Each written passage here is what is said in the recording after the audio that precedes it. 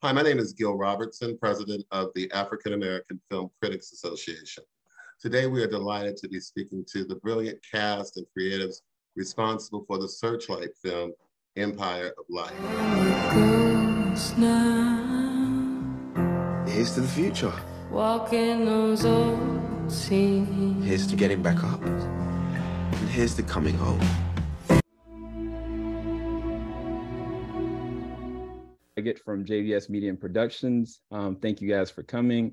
Um, as a lover of cinema, um, like I just appreciated what you did with this. Like you, Sam, the way you directed it, but as a whole, you guys brought something of essence very important here. But Sam, the way that you wrote this, you tackled two distinct things that are still apparent right now today's time, which is mental awareness and health and racial discrimination. And so the questions go to actually Olivia um, and Michael, I, I wanted to check with you guys. How did you guys deal with handling your characters individually, just from the racial discrimination side, and then from the mental awareness of what she's dealing with? Um, and then together, they're having to also deal with it you know as as a whole like they're having to complement each other but also get outside their comfort zone while dealing with their same so i was curious y'all's approach with both your characters for stephen and for um, Olivia, your character?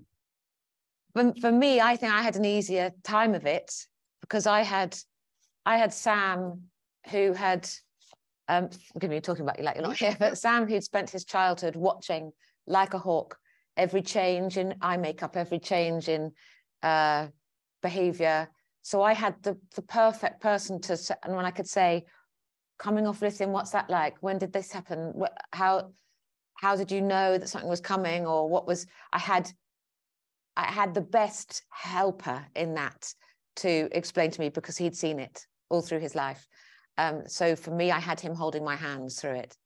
And because i you know thankfully haven't had to deal with any mental health issues myself. So uh, it was easier for me and i can see how what you had to go through obviously was a different experience. Yeah. Um for me, like you know, reacting to the mental health stuff was um, really interesting because I haven't really been around um, someone like that before. Um, so I learned a lot within that um, process about that topic, and also as well, Sam had like a this research script where if you was reading something, you know, you could click on it and it would like take you to a lot of the research that he done um, and stuff that we could help us know more.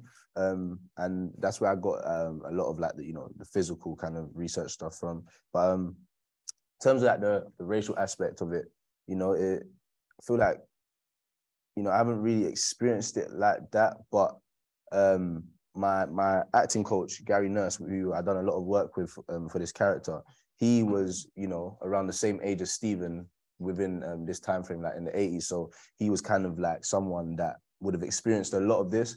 So for authenticity and stuff like that, I'd ask him a lot of questions and you know how he would react to um, a situation like this and understanding how I would react to it in this time and kind of merging those um, ideas and feelings together, um, which was really important for me.